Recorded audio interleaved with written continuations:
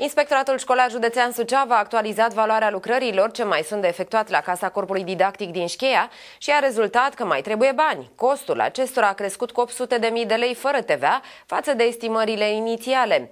Astfel, pentru finalizarea investiției mai este nevoie de 4,4 milioane de lei față de 3,6 milioane de lei, cât era estimat inițial. Inspectorul școlar general Gheorghe Lazar a precizat că diferența provine din mărirea prețurilor. În 2006 se propune investiția, în 2008 studiul de fezabilitate, în 2009 prin hotărârea, Consili hotărârea Consiliului Local 106 din 2009, Consiliul Local Șcheia a aprobat darea în folosință gratuită a suprafeței de 0,5 hectare, teren pentru construirea, construirea sediului Casei Corpului Didactic. Proiect tehnic și toate fazele și avizele.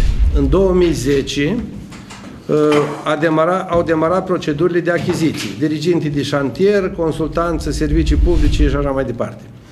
În 2011, avisarea investiției, uh, în 2012 demarează procedurile de achiziție a, lucră, a execuției lucrărilor. În luna septembrie s-a finalizat prin semnarea contractului de lucrări.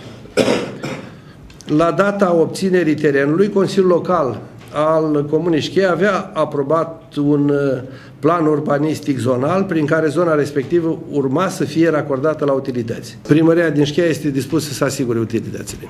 Șeful Inspectoratului Școlar Județean Suceava a declarat că investiția din Șcheia putea fi finalizată încă din anul 2015, însă inspectoratul a avut poprire pe conturi pentru că a pierdut un proces cu o firmă de construcții pentru niște lucrări efectuate la o școală din Rădăuți și neachitate. Construcția putea să încheia cu 2 ani. Dar școala 6 de Rădăuți, care a fost construită și neachitată, ne-a dat în judecată și am avut popri pe conturi. Deci n-am putut să facem uh, construcții, să cheltuim bani pentru construcții din acest motiv. Cu alte cuvinte, am pierdut uh, într-un an 1.800.000 și într-un an 1.800.000.